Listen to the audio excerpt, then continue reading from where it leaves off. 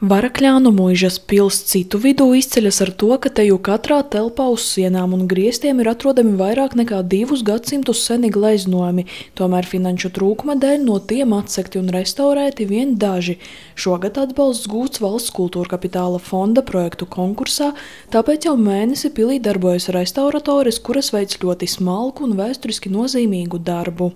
Zem 12, 13 pārkrāsojuma kārtām pēkšņi parādās gleznojumus, parādās kalni mājiņas un uh, pat cilvēku figūriņas ir saglabājušās. Jā, līdz ar to mm, pats interesantākais posms tieši šobrīd. Pēc tam uh, notiks attīrīšana vēl gleznojumam pamatīgākā un tad nostiprināšana. Šīs kārtas, un viņas visas nav vienmērīgas. Ļoti daudz vietās ir uh, iepriekšējā laika labojumi, sauc špaktelējumi, ir arī slikti vai labi saglabājušās vietas. Atcīmredzot, ne, nevar paredzēt, kas tur būs.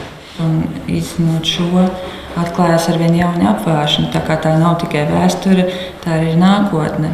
Restauratoris un mūžas pilī esošā Varakļānu novada muzeja vadītāja uzskata, ka gleznojuma autors varētu būt pils pirmais saimnieks Mihails Borgs, kas apceļojas visu pasauli. Jo viņš bija dišs ne tikai zinātniskajā darbā, viņš bija gan literāts, gan arī mākslinieks. Un viņš ir bijis vairāku pasaules mākslas akadēmiju loceklis un, un zinātņu akadēmiju.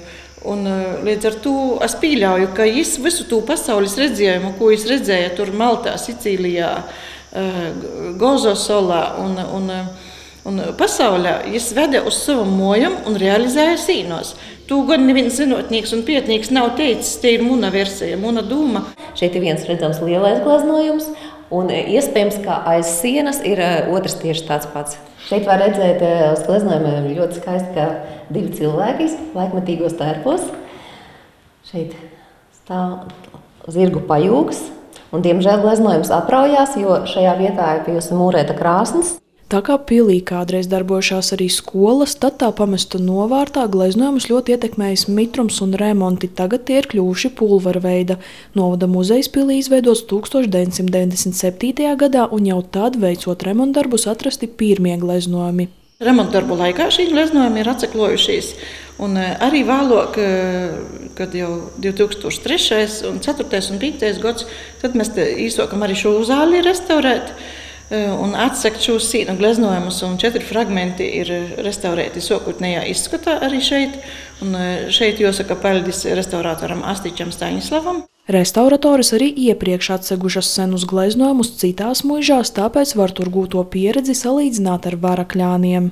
Esmu strādājis arī Cēzu pilī un Ventspilī, Livonijas ordeņu pilīs, ja, un dažādās mūžās, baznīcās. Ja.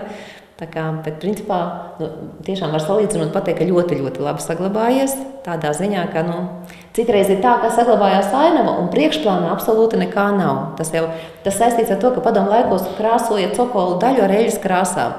Un tad viņi noberza kārtīgi, notīrīja smilšu papīru un vairs nekas tur nesaglabājās. Principā.